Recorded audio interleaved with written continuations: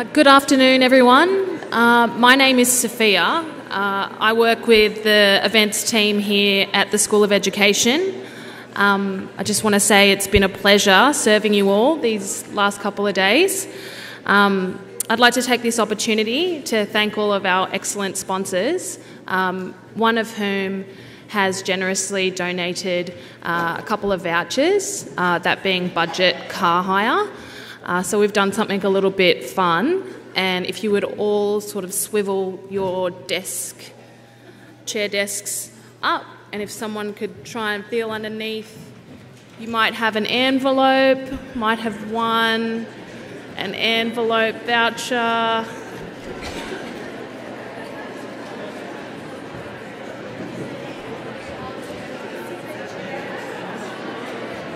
One winner there, excellent and another winner there. Awesome. Um, but thankfully, we're all winners today because um, Budget has actually offered all our conference delegates a, um, a discount offer, um, and that's all.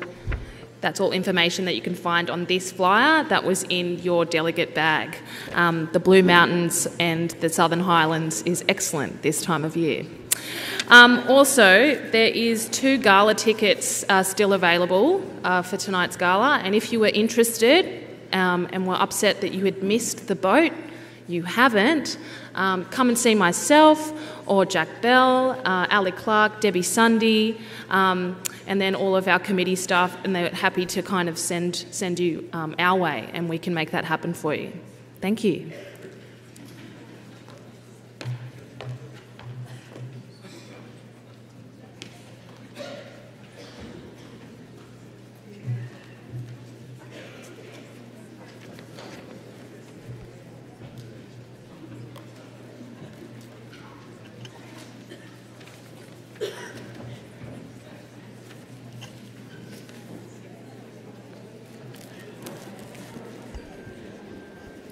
Good afternoon. We acknowledge the traditional custodians of the land on which we meet today, the Gadigal peoples of the Eora Nation, and pay our respect to the elder past and present, and welcome all Aboriginal and Torres Strait Island people who are with us today, and welcome everyone to this session.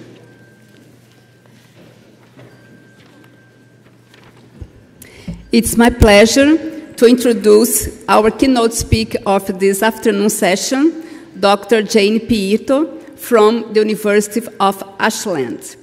Jane Piirto has helped thousands of teachers and administrators to gain their bachelor's, master's, and doctoral degrees and endorsements. She's a published and award-winning poet and novelist, as well as a distinguished scholar from the National Association for Gifted Children, a Torrance Creativity Award recipient, and a recipient of the Lifetime Achievement Award for the Mensa Education and Research Association. Among her books are three editions of Talent Children and Adults, Their Development and Education, two editions of Understand Those Who Create, My Teeming Brain, Understand the Creativity Writers, understand the creativity and creative for the 21st century skills. Um, her keynote is entitled Organic Creativity in the Classroom, Teaching to Intuition and Academic in the Arts, which is the title of her latest book. Well, let's welcome Dr. Jane Piirto with a round of applause.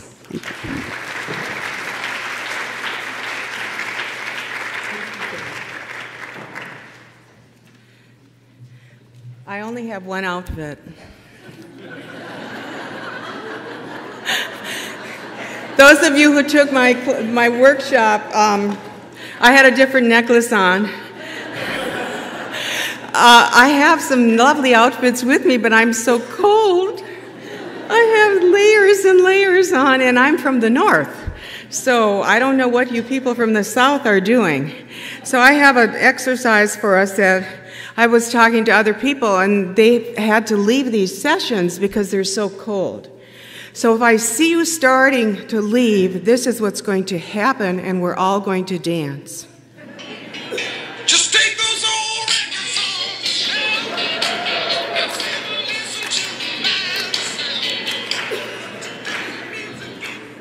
So we'll do that sometime during this talk, all right? And warm up a little bit here in Sydney. I thank the committee for asking me. I'm so honored. I don't I was so surprised to get the letter and I'm just hoping that I can meet the expectations that they put upon me by inviting me to be one of your keynotes. The abstract is here. You don't have to read it. because that's what I'm going to talk about. So this will be the test, the post test. But uh, I did give a pre conference session the other day, and we were talking, and our knowledge of each other's geography is quite parse. So I thought I'd give you a little geography lesson about where I'm from in the United States of America. I have just retired from uh, Ashland University, and I am now living in my childhood home in the Upper Peninsula of Michigan, hugging trees, walking my dog by Lake Superior and on inland lakes, and just enjoying that beautiful place. This is where it is. These are the Great Lakes of the United States. That top lake there is where I am. I'm on the southern border there of Lake Superior. And my university was down there below that bottom lake, below Lake Erie. It still is, Ashland University. Here's where I'm living with the blinking light right there. And the other blinking is where my university is. So that's Geography 101 now. If you go on Jeopardy, you'll know where the Great Lakes are. The next test, boys and girls, will be can you name them? no, you cannot see from one side to the other, and yes, they are freshwater. Why am I up here talking about a book that I edited? I got a letter from Joel McIntosh, who uh, owns Prufrock Press a few years ago. And he was wondering whether I might like to edit a book that would speak to creativity that emphasizes the intuitive, that perspective that captures the spiritual, the unconscious thought, though when I use that term, I do not mean supernatural, as a source of creative energy and production. And I sat around and thought for a while because I have been talking about this and writing about this, and I was honored that he would think of me. So I started to put together a list of subject matter experts, not psychologists like many of us are, or I'm not a psychologist, I'm an educational administrator, but people who are really have a deep knowledge of their subject matter. And I put together about 23 people and asked them. They had true expertise. They had practiced their teaching and work for over 10,000 hours, and they have over 500 years of teaching experience. So I contacted these people, and they were enthusiastic in their response. And they thought the time has come for an emphasis on the intuitive as well as the cognitive. So I put together this book called Organic Creativity. What is organic creativity? It's just like organic food, right? Unforced, spontaneous, free, pure, living, animate, etc. So organic means it arises naturally. It doesn't really even have to be or taught. Usually it comes up through the expertise of experience of being a teacher. So here are some of my books. Uh, unlike Kiersey yesterday, I wrote the books and then I started publishing the articles. out of the books, people would ask me, and it's all right at my university because we're just a small university, and I, it's not a research one, and I didn't have to go for big grants and everything like many of you did. So here's uh, an example of creativity studies book in which I have an article. And uh, this is edited by two of the giants in the field, uh, Ron Beghetto and James Kaufman. I stand on the shoulders of giants. Many of you are in this room, and I am honored to be among you. I put the, together the Piirto Pyramid of Talent Development in the first edition of this uh, talent, this uh, synoptic textbook in 1994. We're not going to talk about it here. but I just, I, am the one who invented it, so you, we'll talk if you want to talk with me later. The context of creativity for this talk is that most people think that being creative means being in the arts, and they say, I am not creative. That's a misconception. If you're bored today, um, just take a look at the program here and count the number of arts that are mentioned in this program, and you will find a couple of A's within the word STEAM. That's all. I did it. I told her I had a slide like this, and then I took it out, and she said, You should do it because uh, those of us who are in the arts sometimes feel a little left out in the field of gifted education. So, the working definition of creativity that I came up with back in 92 when I wrote this book was very simple. Creativity is a basic human need to make new. Now, we have a lot of definitions within the field, and a lot of them have a social responsibility thing to them, like Hitler wasn't creative because he was bad. And I just disagree with that. So it's just a basic human need to make new. Period. All people are creative. Creativity is present in everyone, in every field, in every job, in every life. And as my undergraduates would say, even worms are creative. This is the best creativity book around, Rollo May's book, The Courage to Create. I keep revisiting it over and over again. And he was a genius, he was a Jungian from the Midwest. So I started publishing articles like this because I felt left out as an artist. I'm a published poet and novelist, and I was that before I got into the field of gifted ed. And I would take creativity training workshops from very famous people, and I did many things. I brainstormed and I scampered and I did this and I did the CPS and I taught people how to do it because I was a coordinator. And then I'd go home at night wait for my kids to go to bed and my husband to go to bed, and then I'd write poems all by myself in the dark or with one light, smoking cigarettes and drinking wine. I didn't scamper. I didn't use CPS. I didn't brainstorm. So there was a disconnect in my life as a professional in gifted education and as an artist practicing my art. So I started to look at things and in a different way. And these are some of the recent articles that I've published. Uh, as you see, I still keep the poet, poetic practice going. I'm involved in the Poetic Inquiry Group of uh, AERA and in the Arts Based Research Group of AERA. I'm on the board of the National Association for Gifted Children, Gifted Child Quarterly. And at our board meeting in November, I said, What if I submitted a poetic inquiry?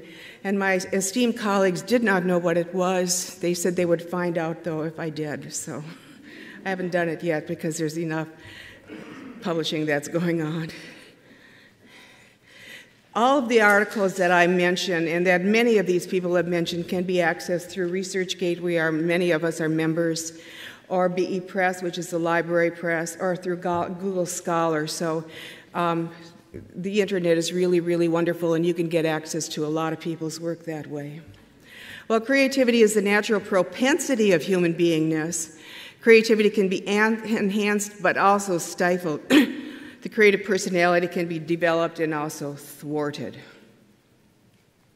What is unnatural and sad is for creativity to be repressed, suppressed, and stymied through the process of growing up and being educated.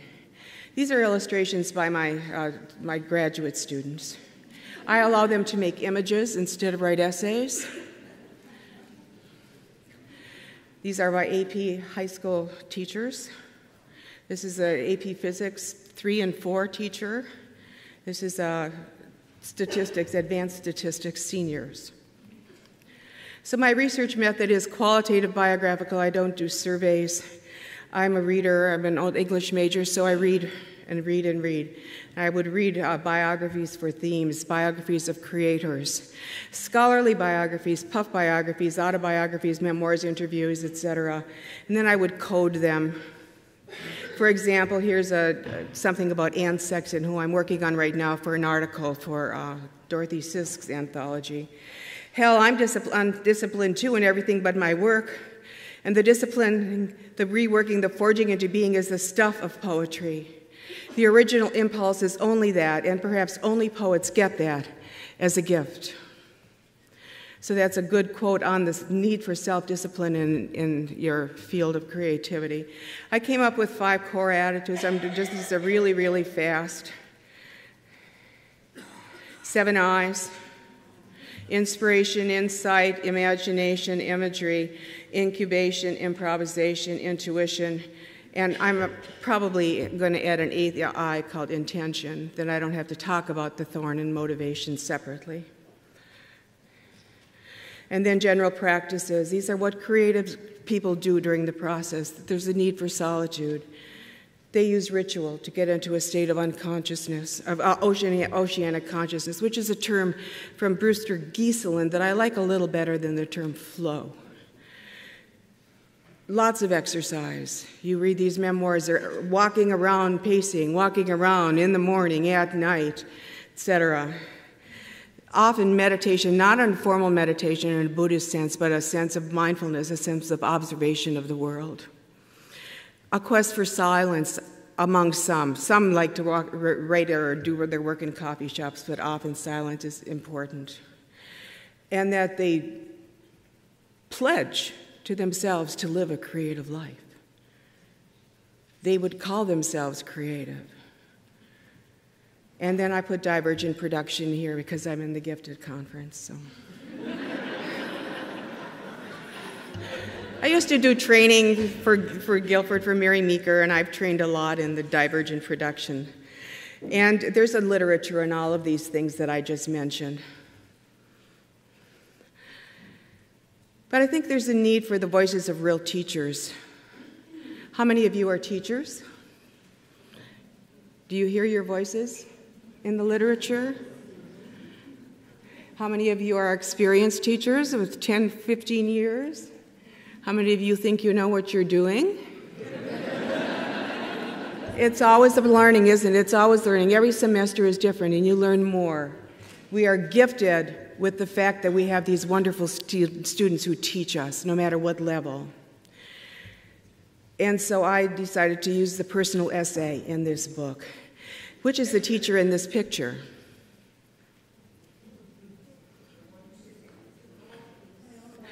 No, no, the one in the red pants. She's the, uh, the uh, quiz bowl, and she's a physics teacher, and she has five children. That's Nikki. I was doing an observation for her endorsement. We have in our classes a lot of people who have studied in great depth other fields, and we don't let them perform in those fields in our classes. They're not allowed to write music in an education class. They're not allowed to do a painting in an education class. They're not allowed to do a poem or write a story in an education class. So I've tried to change that in my practice. I teach a, I taught a course in, called uh, Teachers in Film, and this is one of my students who is a, our teacher, and he made the archetypal teacher in film, male, a little troubled, some, some drug problems, attractive, but with dead eyes. Think of the films you know uh, that are teacher films. And it's a film called Teacher. It's a poster, and it's going to start August 28th, he said. So I encourage my students to make images rather than write essays. They've written a lot of essays, a lot of essays. So this is a poem from a high school advanced placement history teacher. Flow is a mindset. Flow is movement. Flow is when the groove is real and the magic happens. Flow is when the ideas sit, percolate, marinate, and incubate. Flow is when you don't even need to think. Flow is necessary. It creates. It bubbles up inside, drawing inspiration from inside, sometimes outside. It demands to be heard, demands to be channeled. Flow is when you can't be interrupted. Give me just a minute to finish this slide. And then Michael says, I may not create art or music or poetry, but I create learning, plans, lessons, laughter, memories. And for that, I need flow. Sometimes it isn't there. Sometimes the muse is busy. When that happens, I need to refocus. Flow comes from accepting the unknown. No, flow comes from embracing the unknown.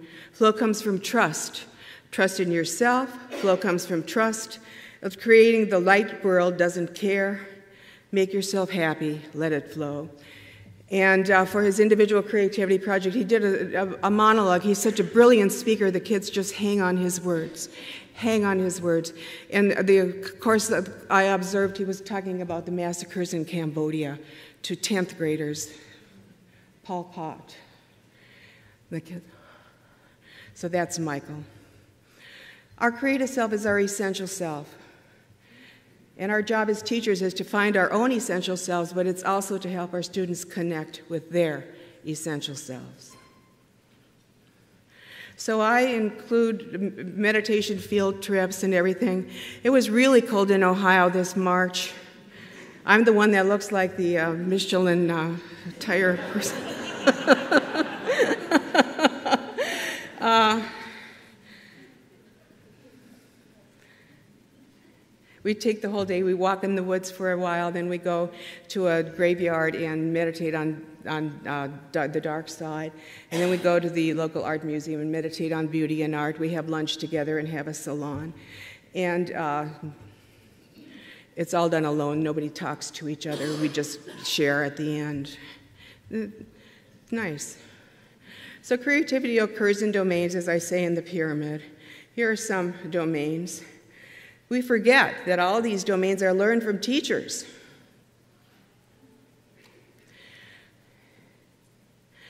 So, our Kappa Delta Pi chapter at our university made t shirts like this one year. Isn't this great saying? Teaching is the profession that creates all others. We had a lot of t shirts for sale, but they're all gone now. What do teachers do during the creative process called teaching? What are the practices of creative teachers who are real domain experts? The method was personal 6,000 word essays by experienced teachers in domains taught in schools. The only domain I didn't have was physical education, and I regret it. How does one become an expert? These people you would call experts just by our common definition from Ericsson et al. So here are the stars of my talk. That was the intro. This is George Johnson. He's been teaching in a pull-out program for 30 years in rural Appalachia. Kids who have cars on blocks and eat roadkills. I have found that the easiest and most consistent way to encourage creativity in the classroom is to ask the question, why? In a relaxed setting, allow students to close their eyes and use their mind's eye to see. There must be time to incubate, to allow the images to come forward. Try reading selections from appropriate literature with highly descriptive scenes. And this is what's amazing about George. I've taught music history in the Rock and Roll Hall of Fame, taught Beowulf and Egyptian history in the British Museum, taught structural integrity at the Eiffel Tower, taught art history at the Louvre, taught about fresco painting at the Sistine Chapel, the development of medieval armor at the Cleveland Museum of Art. I've taught about Goya at the Prado, about volcanism in the ruins of Pompeii, and about pterodactyls at the top of Mount Pilatus in Switzerland. Each year, for 30 years, I have taken rural Appalachian elementary children as young as second grade to New York City, Chicago, Detroit, Cleveland, Mammoth Cave, Gettysburg, Williamsburg, and Washington, D.C., and high school students to Europe. And he did a survey one year, and half of his children had never been to McDonald's, which is only 20 miles away. This is Jessica She's a choreographer and a dancer in New York City, and she teaches at Hunter College. I try to help them notice what intrigues them and trust themselves to play and follow where their own creativity leads. It's a process of looking and listening more than teaching, or at least more than teaching in the manner of instructing. And in this essay, Debbie Troxclair, are you here? You use this book, don't you? Is she here? No, okay. Um, you missed out. You could have been recognized as being a doctor. Learning to be in a care is her topic, and she really talks about observing her students and getting to know them and holding herself back from instructing until they discover what they want to make. To make space, I need to get out of the way.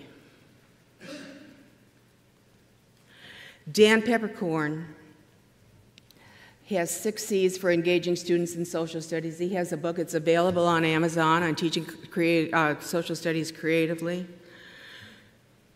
New lessons that link unrelated topics, hands on assignments. His students are so in love with him that uh, he can barely miss school when he's sick.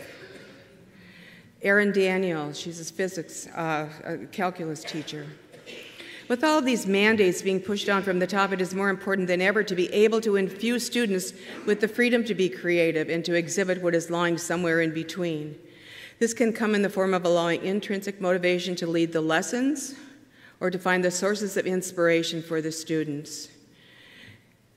Math teachers should present the different ways to solve problems, allow students to choose their best method, and then learn how to get to the solution in the way that best suits the individual.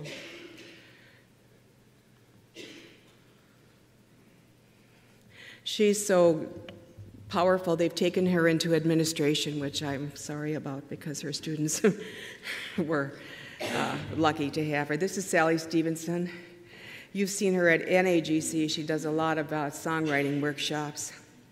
Music from the radio, an MP player, uh, or other external source vibrates the ear, but the vibration coming from a participatory music experience resonates through the whole body and beyond. Sally's in China right now teaching music to Chinese students. Intuition plays a big role in learning to relax into this conversation of listening and answering musically. There is never an insurmountable problem that will prevent someone from engaging in a personal experience from music. And some of the one of the questions I ask my students is to uh, why why do you like your music? Because it's so personal.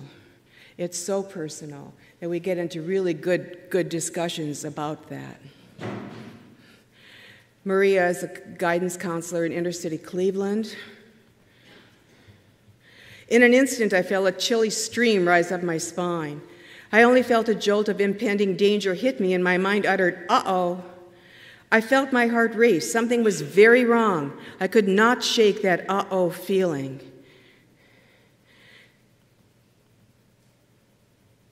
And she says incubation, even when this happens, is, is there, but it's a seconds long before she has to act. I cannot think of any story in my counseling life where intuition did not play a significant role. This is uh, my friend Christopher Reynolds. He and I have read, written, I think, the only three articles on depth psychology in the field. They were in Roeper. He's a retired uh, French teacher, world languages. And he's the one who instituted the feeding back that I do have in my books. Instead of saying, hey, dude, that's cool, putting a smiley face, putting a frowny face, grading it, respond to the work by saying, this reminds me of. Or, I thought of Goya when I saw your work. Or, this work resembles.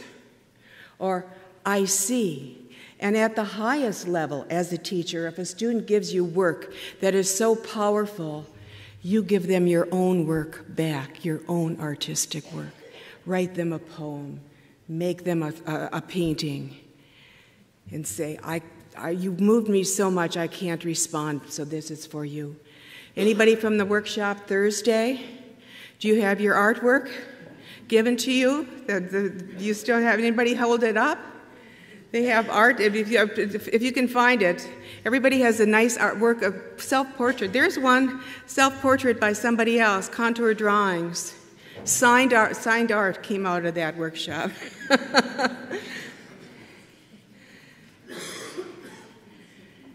Christopher is a singer songwriter and a shaman. He has uh, been accepted into the uh, tribe and uh, of the Sioux, and he does this Sundance every year.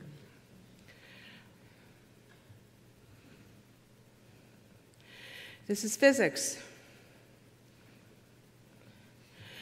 This is Rod. It's easy to walk into a classroom and tell the teachers what you know, but it takes a lot of creative courage to walk into a classroom and to let the class be led by the students and to follow them as the professor. It requires a confidence in your understanding of the material and a certain willingness to grasp the material deeper than you may have in the past, and he's a master of this. I can't let go of that much control, but his students absolutely love him. This is Kristen. She was his student. I'm, i encourage my students by designing and building devices, etc. And uh, physics is a great place to do that. Not by, not by a plan, but by making it themselves to solve the problem. This is Tariq. He's an artist in the schools in New York City. And he sees a lot. He sees a lot. He sees schools that have no paper, no pencil, no teachers. Keith Taber is at Cambridge in uh, London.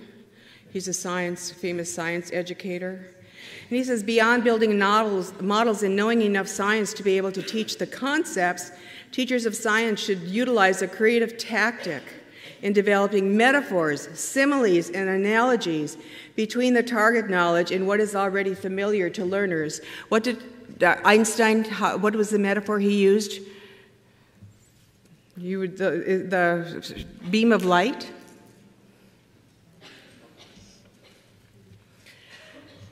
We should be more impressed by a student who can devise a role play, develop a graphical representation, construct a narrative, or build a model. This is Jeremy. He's in that movie on with uh, Don Cheadle. He's the lawyer in this movie, but he's a, at the Cincinnati Shakespeare Theater. And he has taught for me for many, many years in the Summer Honors Institute. And he says Shakespeare, teaching and working with Shakespeare is the way that he thinks is the best way to develop vulnerability. He uses a lot of games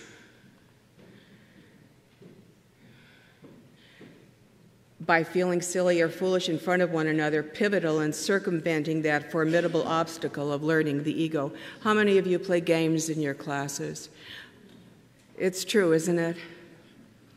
This is Diane Montgomery. Many of you know her. She's my sister, and uh, she's uh, your graduate student. She did her doctorate with you. Graduate students often are relieved that their implicit theories are valuable to their practice in education or psychology when they receive the academic permission to trust intuition, insight, and imagination in practice. She has her own holistic educational model. I invite you to try to find it. Or find it. I tell you, it's out there. Don't.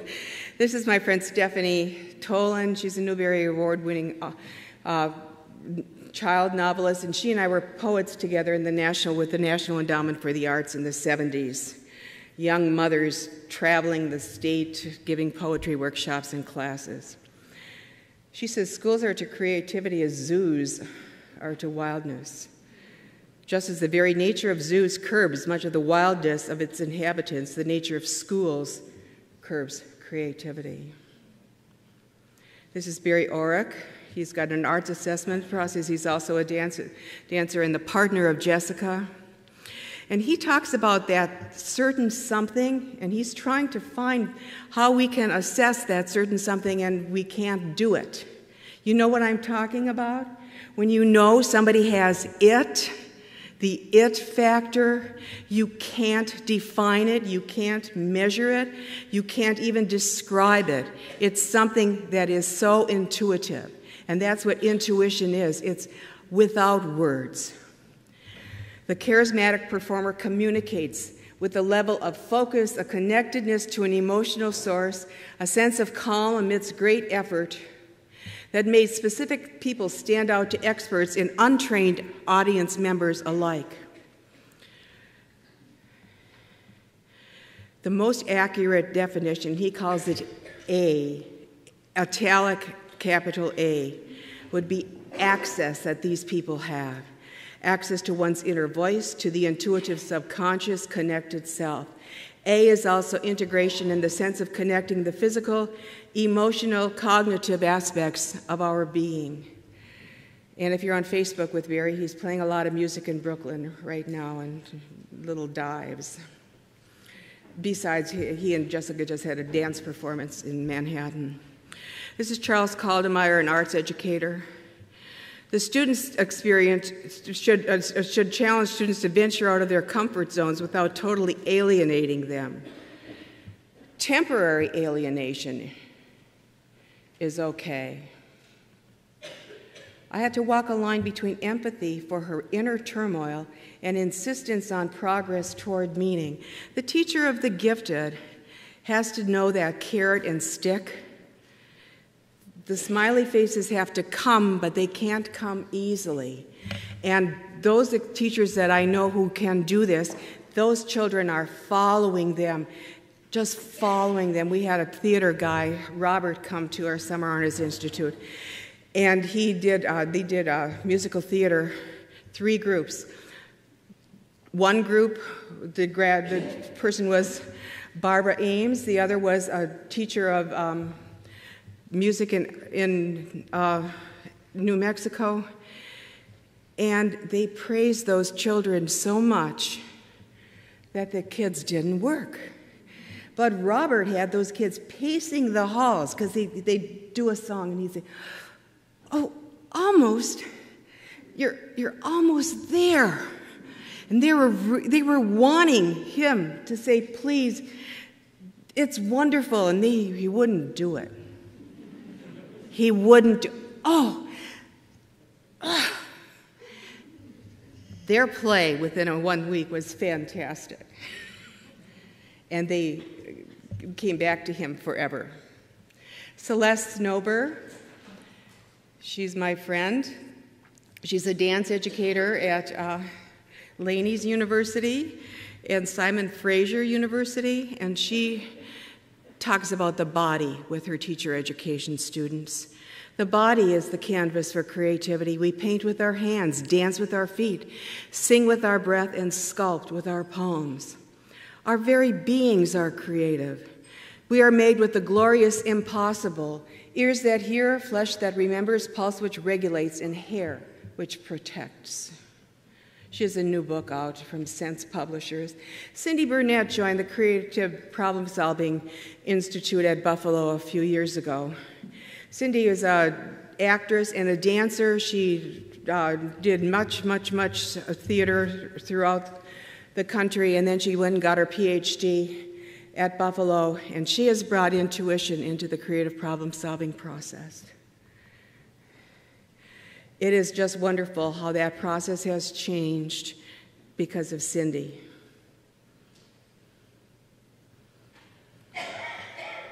This is Todd and Layla, his wife, who are literature teachers. Todd is also at North Texas. We teach literature creatively in hopes that our students will catch even a momentary glimpse of the sublime if you're a literature teacher, you're there because you saw the sublime in the literature you were reading, and you wanted kids to experience that as well.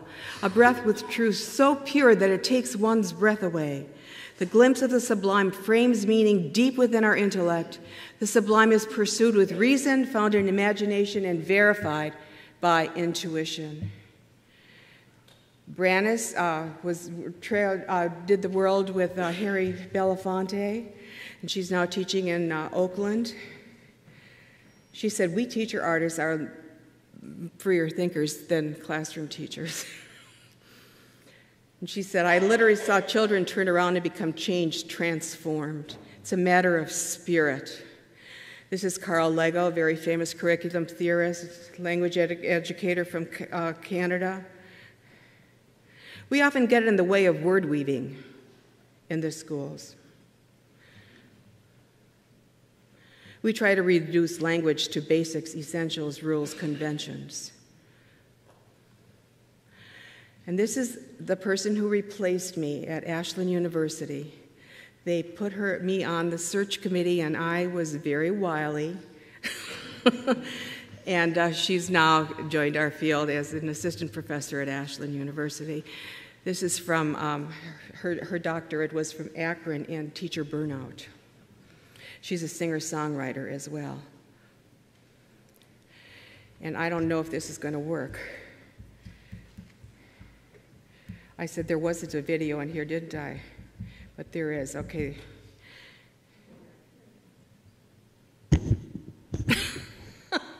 well, that's Jennifer singing. To, uh, we had a, a, morning song at our, at, our, at our institute, and the kids would be singing our morning song at 8 o'clock in the morning. You can see from that.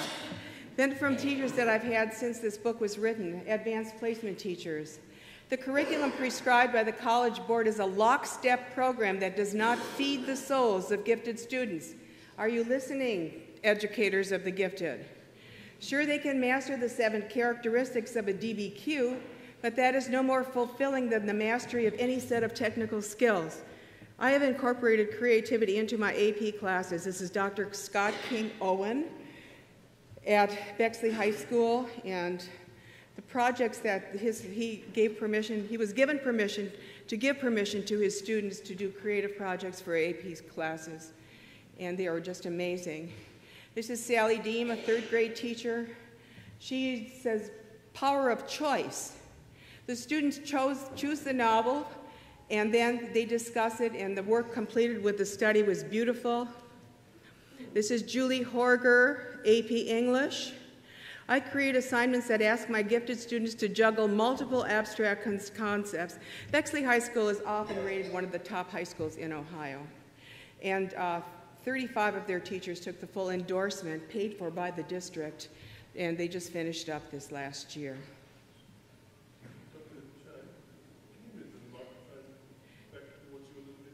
What, what? Oh, sorry. I was trying to play you the music. okay, so here's the summary, and I think it's right on time. Takeaways from the personal essays. Teachers should resist the current climate of multiple choice assessment, single target standards. Any applause? Teachers should know their students' strengths and teach to their strengths. The teacher should teach improvisationally, that is, the lesson can be changed when the situation changes. The teacher should feel free to stray from the lesson plan and use his or her intuition to determine the direction of the classroom situation and the lesson. The teacher should seek to develop a climate of feedback in the classroom where the students trust each other. And this is very, very difficult. It has to be, it has to be um, cultivated. And we, the workshop I gave the other day, we talked about means of how you can get group trust in various groups. Students should be encouraged to learn from failure and from vulnerability. The teacher should use creative humor, which teaches and engages students. Administrators, counselors, and teachers should not be afraid to trust the gut. Techniques such as meditating, slowing down, paying attention, and mindfulness should be part of a teacher's repertoire. The use of field trips increase the likelihood of students' engagement, remembering, and transfer. And I know you can't get a field trip going because there's no money in the district and you can't get things. So take a field trip into the playground. Take a field trip to the basement of the school. Take a field trip to the attic and create lessons from that. The getting out of the classroom and being together is what's seems to be important. You're learning, and I, know that you are because men, when I when you, I asked you if you had mastered teaching, very few of you put your hands up. We never master it, do we? We never master it. Every class is an adventure, and it's mutual. You, you drive home. I, I drive home just what did I learn today? What did I learn today? And oh, I was so mean to her. Why was I so mean to her? And I, this was one night I called out a woman, and oh, I still feel so guilty about it. I've bent over backwards, but I don't think she's forgiven me yet. Self knowledge tools such as mandalas, walking the labyrinth, reflections, nature walks, and the like help give students insight and inspiration. Uh, Lori, did you go to Diane's house and, and uh, do meditation at the lake house, Lori Croft? Oh, because I, that sounded so great. She would she'd invite her graduate students. She had a lake house in Tulsa, Oklahoma, and they'd spend a weekend meditating. All right. Now, whoever is planning the program for the next World Council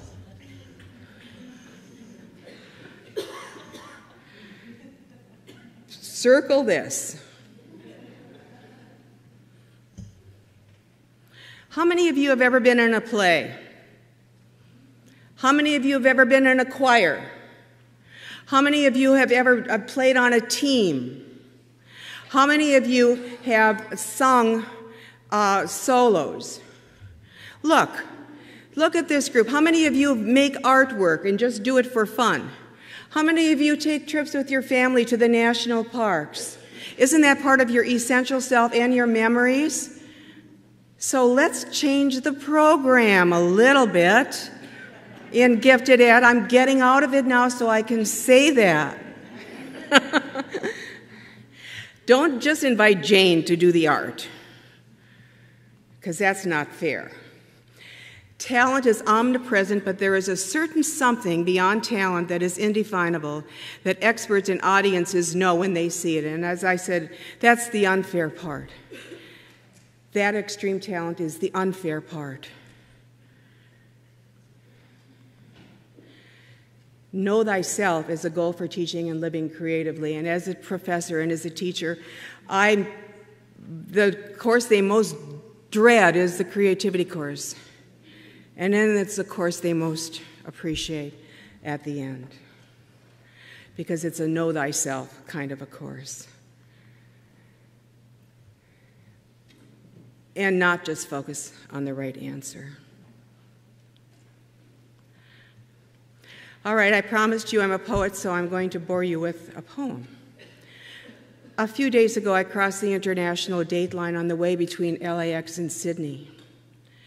I was watching the movie Hidden Figures about African American women mathematicians who helped NASA get John Glenn into space. I felt spaced myself, reimagining what they imagined through their knowledge of sines, cosines, arcs, and angles, all while zooming at 336,000 feet above the deep blue sea in a darkened, droning cave. Here in Sydney, in the southern hemisphere, the winter solstice took place on 21 June at 1423.25. The ancient orig- originals knew this and designed tributes. Stonehenges exist throughout the world. Sunrise today was at 6:56 a.m. Sunset is 5:10. The days and nights are rushing to the equality of September. The normal curve never closes at the ends of its imagined parabola. Somebody can mathematically slip out. These mysteries, these products of creative human minds making sense of skies and seasons and the statistics of difference make us act as if there are no miracles. There are. In a few days, Tuesday, Thursday, I will leave here. I will trust that I will cross the date line and arrive in LA three hours before I left Sydney. I will wait for five hours and fly to Detroit and arrive and wait for five hours while Sydney is entering Wednesday Odin's Day. I will fly for one and one half hours to northern Michigan, and by then, in the same 24 hours, I will have one half hour left of the same Tuesday on which I left. Hidden figures calculating where I traveled 14,956 kilometers and regress 16 hours to live the day I lost on Monday, crossing the international date line. The miracle of human creative imagination, fortified by brains, expertise, background, and desire, is what we celebrate here at this conference. Let us be reminded of the poetry inherent in our very existence. Let us pause for awe.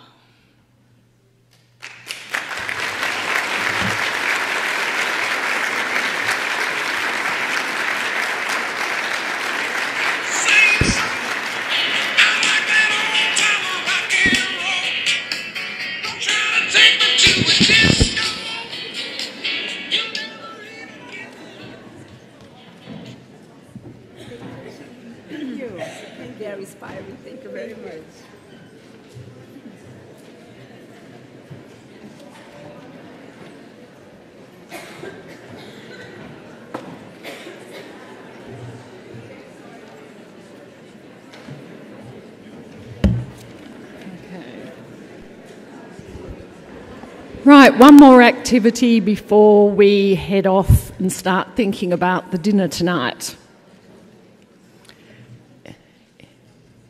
One of the enjoyable things about being on the World Council is that I'm chair of the Scholarships and Awards Committee.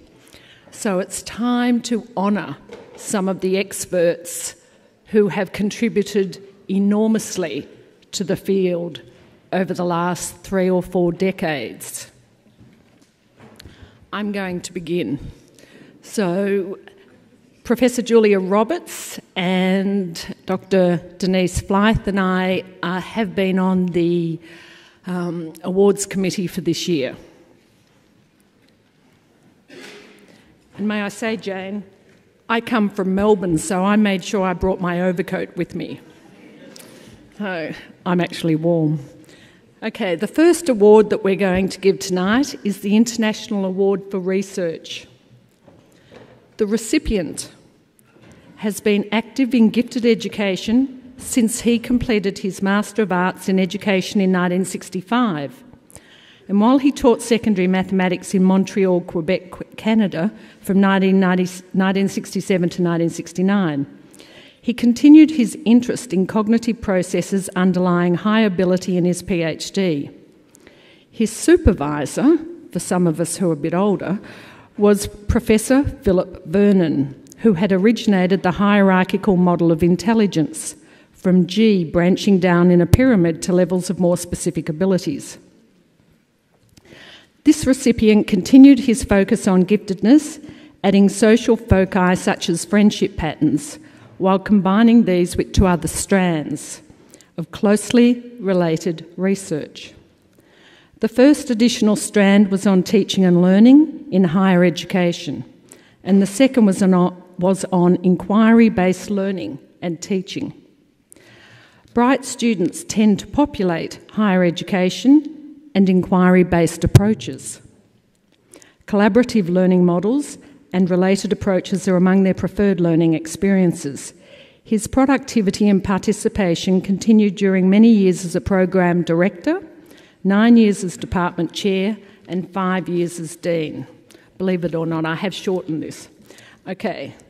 The recipient is a licensed teacher and psychologist who has spent nearly 40 years as a researcher, teacher, and graduate supervisor in educational psychology and school psychology at McGill University in Montreal, Quebec. He remains active in supervision and publication as Professor Emeritus. Of the 476 books, chapters, journal articles, conference presentations, and dissertations or graduate reports with which he has been associated, not counting over 100 workshops, plus decades of classes taught, 279, or 59% of those, have been directly on giftedness or the education of the gifted. His research and that of his students has been recognised by the 1995 Distinguished Scholar Award from the US National Association for Gifted Children, five awards for excellence for research from Mensa International, all for articles co authored with his students. Election as a Fellow of the American Educational Research Association, based on a nomination from a researcher on giftedness with a focus on his part of his work, and his being part of a list of the 53 most influential people in gifted circulated by the American Psychological Association. The recipient is a reviewer or editorial board member for virtually all the major journals in gifted education, including Gifted Education International, Gifted Child Quarterly, the Journal for the Education of the Gifted, High Ability Studies, the Journal of Advanced Academics, and the International Journal of Creativity and Problem Solving. He also reviews for more general journals such as Learning and Individual Differences, Teaching and Teacher Education, Exceptionality, Education International, and the International Journal of Science and Mathematics Education. He has reviewed grant applications for major agencies, including the US Office of Education Javits Committee that initially funded the US National Research Centre at the University of Connecticut and its collaborative universities.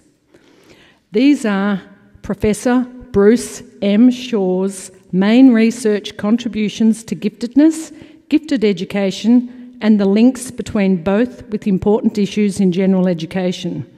His contribution includes particular links to the World Council and it continues in his post retirement activities as a researcher in the field. So I'm pleased to announce this afternoon that the winner of the International Research Award is Prof- Professor Bruce Shore from McGill University.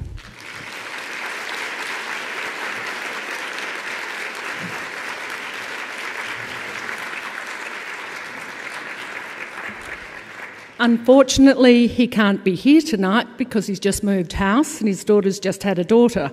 However, we have a video from him.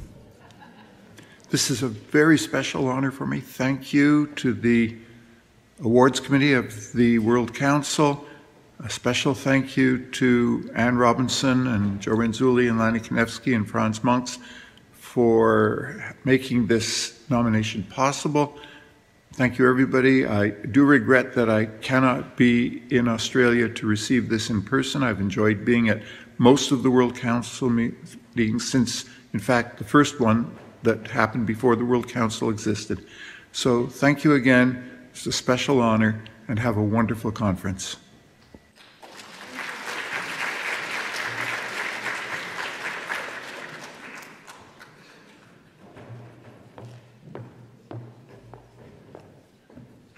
I had written out quite a few comments, and after Jane presented, I think I don't need to tell you why we're giving her the World Council for Gifted and Talented Children's International Creativity Award. Jane, please come.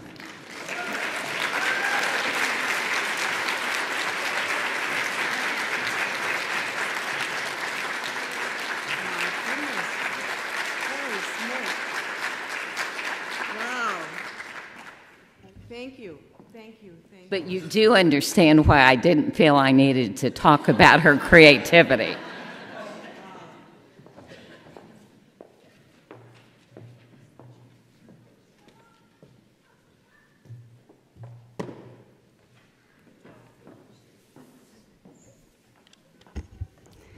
It's my great honor to deliver the Harry Passow Award for International Leadership and Gift Education to Dr. Eunice Soriano de Alencar from Brazil.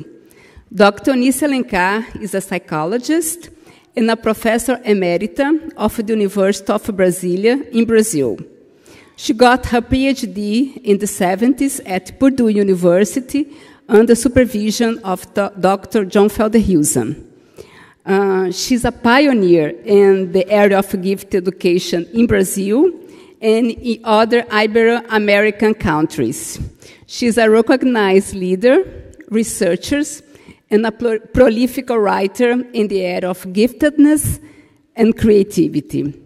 She has served as president of the Brazilian Association for the Gifted and vice president of the Ibero American Federation of the World Council for Gifted and Talented Children. She has also been the role model and mentor for many young researchers in education and psychology. uh, who became engaged in the area of the gift education because of her support, encouragement, and expertise. Please, let's give Eunice a big round of applause.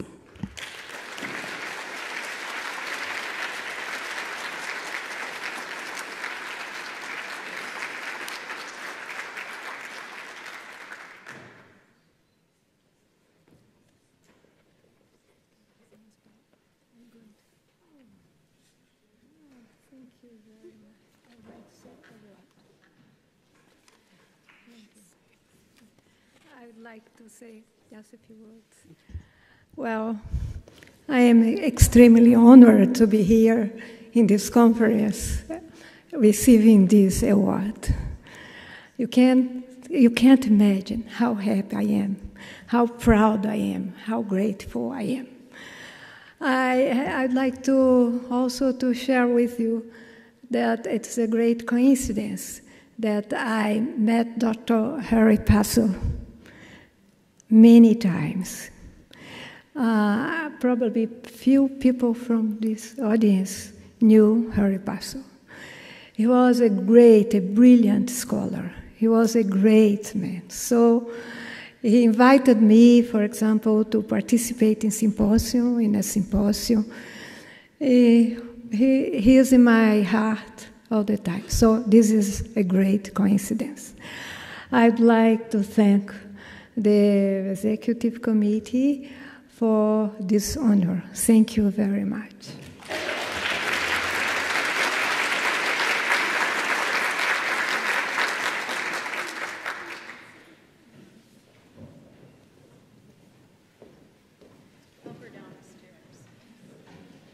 Without a railing for us old people, it's hard.